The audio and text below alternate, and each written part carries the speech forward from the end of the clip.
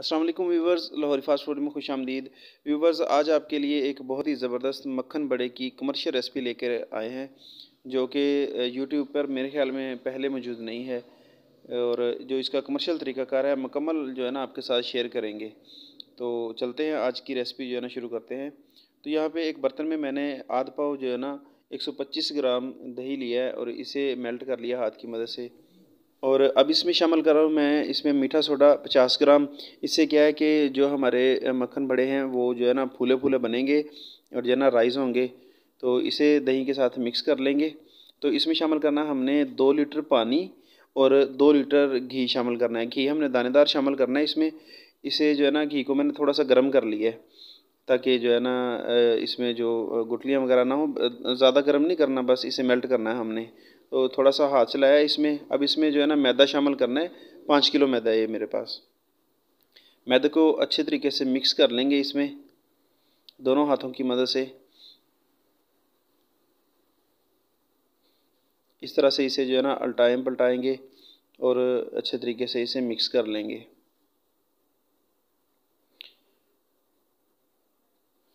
जैसे जैसे ये मिक्स होता जाएगा, आपने जो है ना इसे आटे की तरह जो है ना गूँध सकते हैं, इसे कोई हर्ज नहीं है।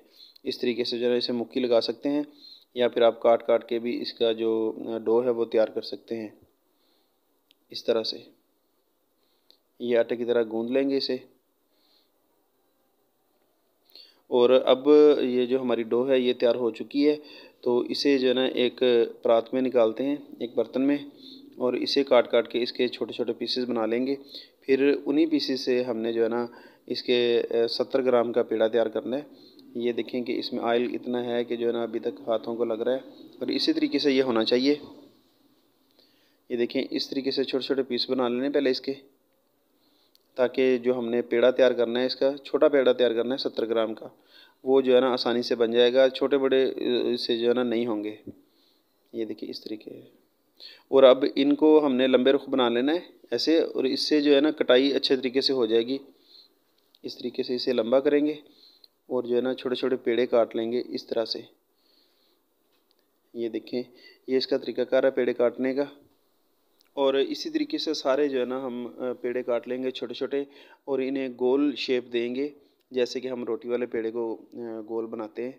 इसी तरीके से ये देखें कि तकरीबन जो है ना इसका सत्तर ग्राम वज़न है। एक पेड़े का। इससे ज़्यादा आपने नहीं बनाना, क्योंकि वो फिर अंदर से सही तरह पकेगा नहीं। और जो प्रोफेशनल है, दुकानों वगैरह से मिलता है, उसका यही साइज़ होता है और वज़न भी यही होता है। जब इसमें शीरा लगा जाएगा तो तकरीबन ये सौ ग्राम इसका टोटल वज़न हो जाएगा। ये देखिए, ये गोल हो गया। ये अंगूठे की बैक साइड पे रख के दूसरे हाथ के अंगूठे से इसे जो है ना सेंटर में से हम दबा के इसे गोल कर देंगे। इस तरह से। ये इसे इतना नहीं दबाना कि आर पार सुराख हो जाए। सिर्फ़ हमने जो है ना इसे दरमियान में से गहरा करना है। ये देखें, इस तरह से ये साइड जो किनारियाँ हैं इसकी, वो जो है ना गोल हो जाएँगी।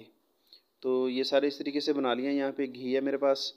तो ये तकरीबन दस किलो घी है। ज़्यादा गर्म नहीं है। बिल्कुल जो है ना नॉर्मल टेम्परेचर है। इतना गर्म है कि अगर आप इसमें उंगली डालेंगे तो उंगली जो है ना बर्दाश्त करेगी घी को। तो ये सारे के सारे इसमें डाल देने हैं। ये एक एक करके इसमें डालते जाएँगे। ये देखें कि जैसे ही हमने इसमें मक्खन बड़ा डाला है तो वो नीचे जाके बैठ गया है। अगर ये ज़्यादा गर्म होता तो ये फ़ौरन ऊपर आ जाता। एक एक करके इसमें डाल रहे हैं इस तरह से। और अब जो है ना जैसे जैसे ये पकते जाएँगे, ये देखें, ये ऊपर आ गए हैं सारे। पोनी की मदद से हम इसे थोड़ा थोड़ा सा ऊपर से दबाएँगे और जो है ना, ताकि घी इसके ऊपर आए। ये ज़्यादा इसमें कड़छी नहीं चलानी है आपने। सिर्फ़ जो है ना हल्का हल्का आपने ऊपर से प्रेस करना है ताकि घी जो है ना, ऊपर भी आए। जैसे जैसे ये पकते जाएँगे, हम जो है ना इसकी साइडें चेंज करते जाएँगे। ये तकरीबन बारह से पंद्रह मिनट लगेंगे इसे पकाते हुए। आपने जल्दबाजी नहीं करनी, बिल्कुल आपने आराम आराम से इसे पकाना है, स्लो फ्लेम पे पकाना है इसे। और इसकी जो है ना साइडें ये इस तरीके से चेंज करते जाना है। ये देखें। दोनों साइडों से अच्छे तरीके से हमने जो है ना इसे पकाना है तकरीबन पंद्रह मिनट के लिए। तो ये देखें कि यहाँ पे हमारे मक्खन बड़े जो हैं, वो बिल्कुल जो है ना तैयार हो चुके हैं और इसके ऊपर जो कलर, बड़ा प्यारा गोल्डन सा कलर आ गया है। इसे हम जो है ना एक डिश में लगाएँगे तरतीब के साथ और ये मेरे पास शीरा है, ये पतला शीरा है तकरीबन एक तार का शीरा कह लें।